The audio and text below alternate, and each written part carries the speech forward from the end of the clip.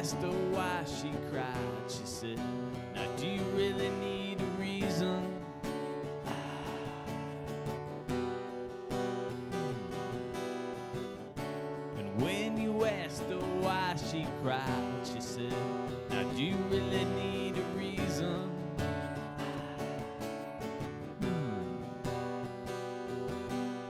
Thirty something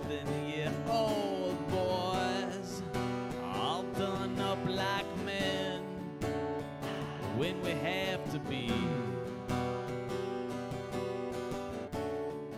We've made a lot of noise and broke some of our toys, but we've got a few, a few new ones too.